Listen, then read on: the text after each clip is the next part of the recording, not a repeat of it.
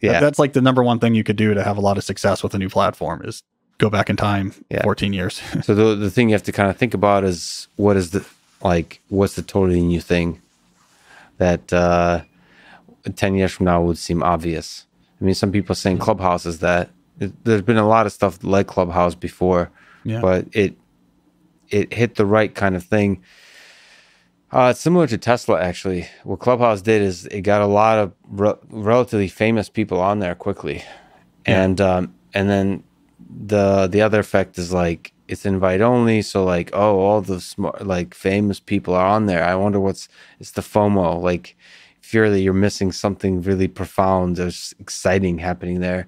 So those social effects, and then once you actually show up, I'm a huge fan of this. It's the JavaScript model. Is like Clubhouse is so dumb, like so simple in its interface. Like you literally can't do anything except mute, unmute.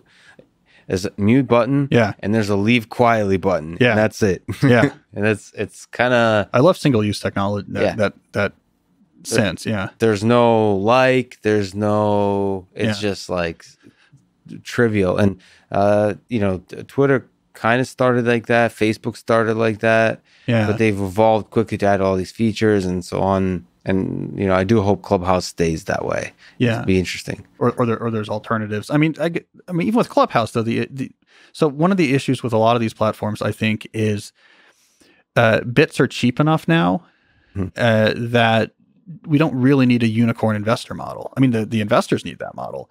There's really not really an imperative of we need something that can scale to 100 million plus a year revenue. So because it's going to require this much seed and angel investment and and you're not going to get this much seed angel investment unless you can have a potential exit this this wide because you have to be part of a portfolio that depends on 1 out of 10 exiting here.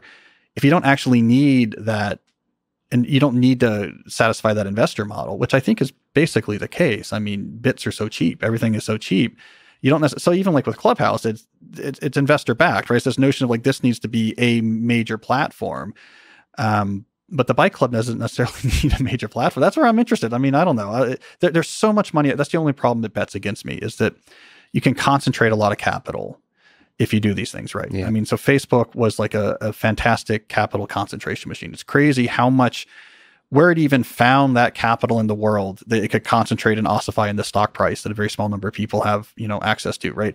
That's that's incredibly powerful. So when there when there is a possibility to to to consolidate and gather a huge amount of capital that's a huge imperative that's very hard for the bike club to go up against. So But there's a lot of money in the bike club. If you see with the Wall Street uh, bets, yeah. when that when a bunch of people get together, I Yeah. mean, it doesn't have to be a bike. It could be a bunch of different bike clubs just kind of team up yeah uh, to overtake. is what we're doing now yeah Yeah. or we're going to repurpose off the shelf stuff Yes. that's not you were gonna yeah we're gonna repurpose whatever it was for office productivity or something and Right. like the the clubs using slack just to build out these yeah Yeah.